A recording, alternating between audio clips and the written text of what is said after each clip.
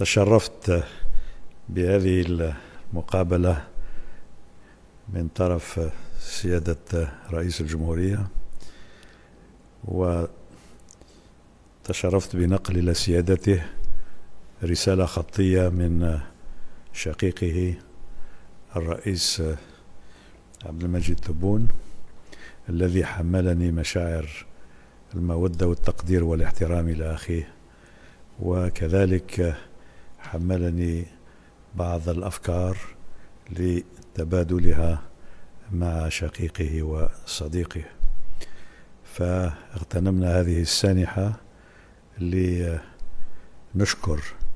الرئيس على وقوف الشعب التونسي الشقيق إلى إخوته في الجزائر آه، ونحن في محنة الحرائق ونعرف كذلك أن تونس قاومت الحرائق بصبر وعزيمة قوية. فالحمد لله على انتصار الشعبين على هذه آه، الظاهرة ونترحم كذلك على أرواح شهدائنا الطاهرة الذين آه، ذهبوا ضحية هذه الحرائق والأفعال التي هي مرتبطة بها.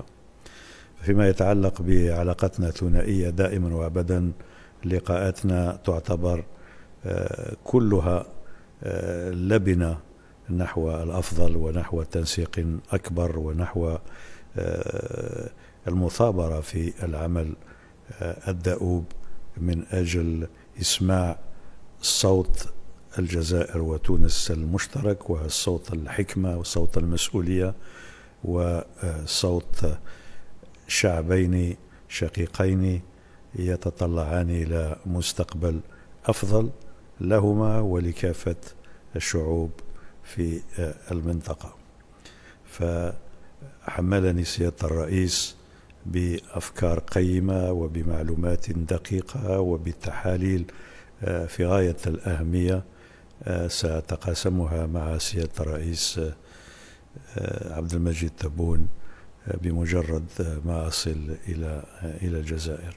فشكرا من جديد على حفاوة الاستقبال وكرم الضيافة.